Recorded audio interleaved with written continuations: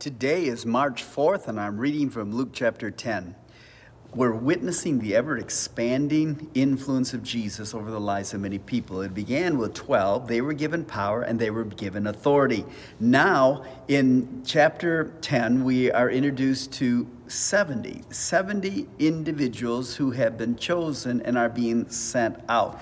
He appoints these 70 and he has commissioned them. The Bible says that the harvest is, this is what Jesus said, the harvest is so great and it's expanding, but there are so few laborers. Jesus is almost saying, I can't do it alone here. My 12 can't accomplish all the opportunities that are presenting themselves, and uh, we need more laborers. And, and he's uh, applying this to our life, this generation as well, that, that there is a need for us to pray. Pray, pray, pray for laborers. The harvest is ripe. And um, and Jesus appoints these 70. Look what he tells them to do down in the eighth verse. He says, Wherever city you enter, wherever you go, I am, you're going to heal the sick there and you're going to say to the, them, The kingdom of God has come near to you. They were to look for the man of peace. Now, the man of peace in a household, when they would go to a home, was someone that would welcome them in. There was a certain reception that this individual had. That man of peace was. Uh, an individual that would be a channel for opening the door for other people that may be uh, open to the kingdom of God. So they were to select. But if they went and that there was not a man of peace, they were rejected or they were told to get out of here. Then we're given this analogy of dusting, uh, brushing the dust off your shoes and moving on. That is just simply letting it go. But looking for the man of peace. And here's what the description here is if you look for the man of peace and they open their home and you go in, then you're going to share with them the kingdom of God. But it's the indication here in the uh, ninth verse is that you're to look for a need, you're to look for a situation and find somebody there that is sick. And if you'll heal that person, if you will heal that individual, that situation, they will see the power of God. They'll see the power of the kingdom of God. And you then will have an entry door. This will be the gateway by which you will be uh, given an audience because they will see the authority. They will see the uh, you will bring an, uh, um, it, it, will bring a credibility to your life and they will see that indeed god is with you and then this is where the door of opportunity for the harvest. And i think it's, a, it's an application in our life in the church. Much of the church we've lost the power the sense of authority. We, we don't seem to recognize that nothing has changed here. And many young people reject the uh, principles of the Christian faith because they see no evidence of the things that the Bible talks about. They don't see the power, they don't see the authority, they don't see the evidence of the workings of God. And can you imagine what would happen if we would once again revisit? I don't think the days of miracles are over. I don't believe that for a moment. I believe, in fact, that they're going to be intensifying and increasing. That as we approach the end of the age, we also, as wickedness is increasing, we're going to see the uh, the uh, expansion of kingdom power and kingdom authority. And so, can you imagine if we would begin once again to go to people, and here's a situation. It's an impossible situation, but we take the name of Jesus and the power that's in Jesus' name, and we, uh, we heal the sick and, and, we, and we help people in situations. They see the power of God, they see a supernatural God working in supernatural ways, and we suddenly have a captive audience that wishes to hear about the God that we represent.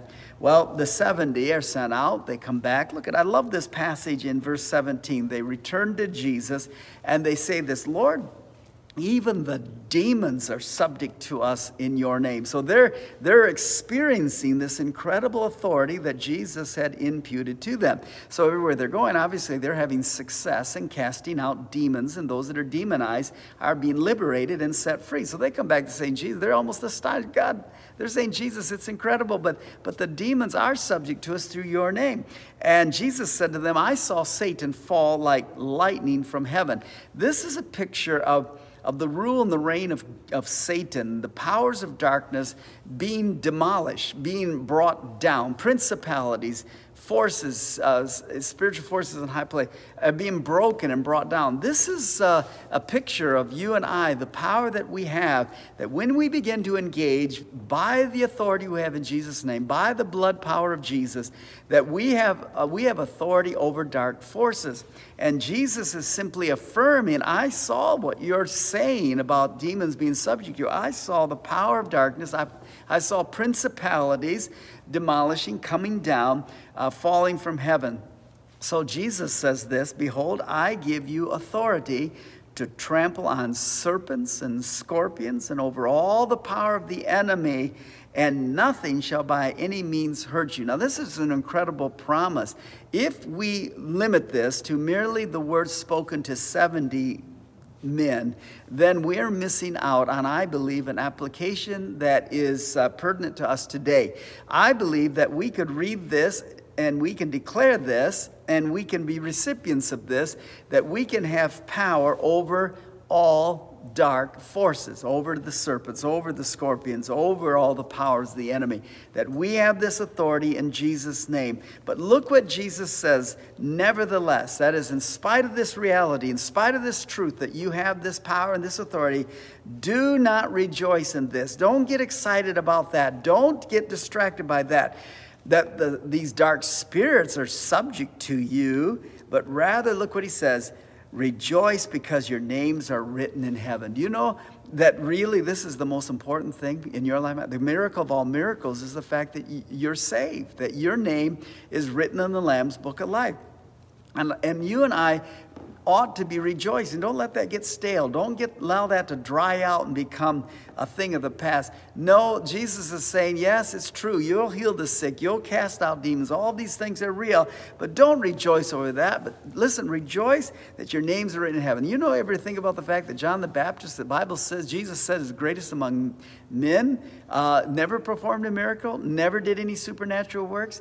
And I want to say to you that while we have been given that promise and you and I have a right to participate in the works of God, the greatest thing in your life, my life, my children's life, all is the fact that we are saved, that we've been delivered from darkness, that the curse has been broken, and we are on our way to an eternal heaven. This is what we ought to live day by day, rejoicing about. Now, Jesus introduces an understanding of what it means to really love God and to love your neighbors. So this lawyer comes up to him in about the 25th verse, and, and actually he's coming to test Jesus, the Bible tells us. And he says, Teacher, um, what do I do to inherit eternal life? And Jesus said, What's written in the law? It's amazing. Jesus always oftentimes asked the question with a question, didn't he? Answer a question with a question. And um, the man answers, the lawyer says, You'll, uh, you'll love the Lord your God with all your heart and with all your soul and with all your strength and, and with all your mind. And, and, uh, and you're to love your neighbors yourself. And Jesus says to him, You've answered rightly. Do this and you'll live. Well, that wasn't enough for the lawyer. So the lawyer said, Well, who is my neighbor? Well, Jesus then goes into a discourse about who our neighbor really is. You see, these two laws really that Jesus is identifying sums up all the other laws because they deal with our relationship with God and it deals with our treatment and relationship with those that are around us. And Jesus gives a story. He was great at bringing a story, telling a story to bring home a point. And he talks about a man who went uh, to Jerusalem and um, he fell among thieves and he is, uh, you know, he's, he's wounded. Uh, they, they, they take his clothes away. Uh, they depart. They leave him. He's half dead. And, uh, and the Bible tells there he is on the street. He's, he's practically lifeless. And uh, a priest came by that road and he saw him and he moves to the other side of the road and passes him by. Now, this is interesting because the priest represents the man of God. The priest is one who represents man to God and God to man. And you'd think the priest would definitely be interested, right? And yet he didn't. And so Jesus is saying, Did that man understand eternal life? No, because it didn't affect his behavior. He had a office as a priest, but uh, it was all lip service, no heart there. Then he says that there was a, um, a Levite. A Levite was uh, one involved in the priestly duties. That is, they would take care of the synagogues and they would do the, the work of the church, so to speak. And so he comes by, sees the man that's practically dead. He passes by, walks on the other side of the street. And again, interesting. This is a what we would say. This is supposedly a Christian. This is somebody that that's loves supposed to love God, but but he doesn't do anything. Roll up his sleeves and get involved in helping his fellow man. So he walks on the other side of the street. Well, then there comes this Samaritan. The Samaritans were not very well liked. This was a racial thing. They uh, the, they were just the Jews just despised the Samaritans and they didn't get along. They called them dogs. And uh, but the Samaritan comes. He sees this uh, this man, this Jew that's there. And the Bible says that he had compassion. And so he bandages him up, he, he takes care of him, he goes to an inn, uh, he, he leaves him there for, um, for a, a, room, a housing, and he pays the innkeep, take care of him, and gives him some money. And, um, and then Jesus asks the question which of these three do you think was a neighbor to him who fell among the thieves? And uh, the lawyer couldn't help but to answer and say, well, it was the one that showed mercy on him. And he said, yeah, go and do likewise. And this is, this is the, mandate of the mandate of the kingdom. Really, there's both the spiritual experience of Jesus coming into our life and there's the practical application. I think what Jesus is saying here is that we live in a fallen world. We live in, a, in, in this hour in which people are hurting and, and they're, you know, they've been abused and they've been mistreated and, and they have nothing. And we can just dismiss it. We can be our, uh, we are going to have a holy club. We can walk by people that are in need all around us, but that's not practical Christianity. And what he's saying that we are salt and we are light. And he's saying that if we're really going to fulfill the law of loving God and loving our neighbor, then we're going to get engaged and involved in the lives of people around us. This is why it's so important that we understand the aspect of loving people, uh, helping people, serving people, uh, feeding the poor, uh, helping those, those that are in prison. All these things are means by which that we get involved with people. The final part of this is Mary Martha. Um, Jesus has been uh, welcomed by Martha into her house, and uh, uh, but she's getting things around. Mary uh, it says, uh, sat at Jesus' feet and heard his word. So here it is. Mary is sitting there just devouring Jesus, loving Jesus, wanting to be around Jesus, but Martha's slaving away in the kitchen. And, uh, but the Bible says that she was distracted with much serving, and uh, she approached Jesus. She's irritated, she's a little upset. And, uh, and she says to Jesus, Do you not care that my sisters left me and I'm serving all by myself? And here she is sitting in here with you while I'm in there sweating and laboring away.